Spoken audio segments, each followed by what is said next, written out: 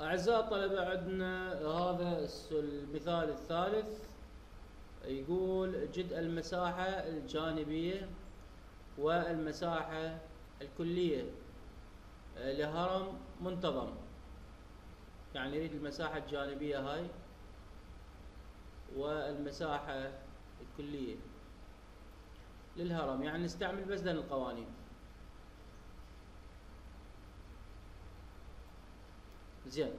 هرم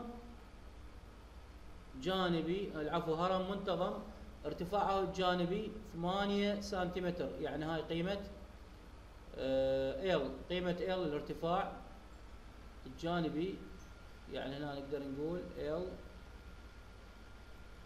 ال تساوي لنا 8 وقاعدته مربعة طول ضلعها 3 سنتيمتر.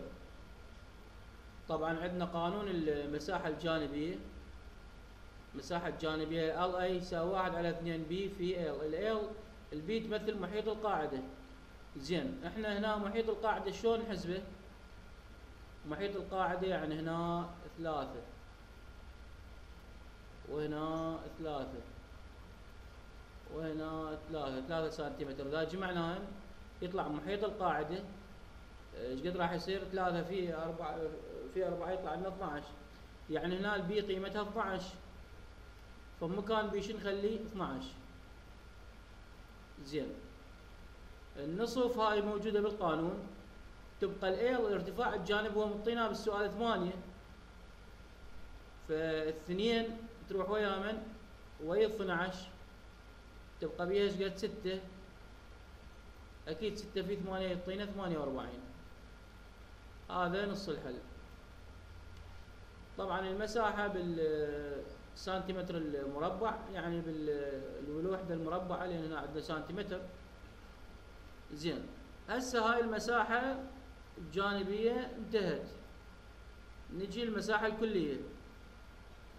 قلنا بالمساحة الكلية نستعمل هذا القانون. واحد على اثنين P آه، في L واحد على اثنين P في L زائد B واحد على اثنين هاي مال القانون ال P قلنا قيمتها 12 وال L الارتفاع الجانبي. يعني نقدر نقول واحد على اثنين في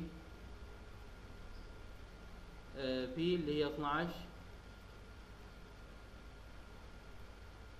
في نخليها بقى الآل قيمة الارتفاع الجانبي 8 زائد B هنا ال B شلون نحسبها؟ هنا ال B تمثل مساحة القاعدة. ال B تمثل مساحة القاعدة.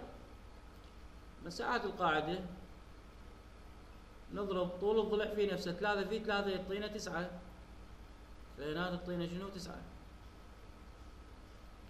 أكيد الثنين تروح ويا 12 أو ويا الثمانية نفس الشيء. تبقى ستة ستة في ثمانية ثمانية وأربعين. نجمعها ويا من؟ ويا التسعة. يطلع لنا سبعة وخمسين سنتيمتر مربع. هاي طلع لنا مساحة الكلية وانتهى حل آه، السؤال. وشكرا للمتابعة.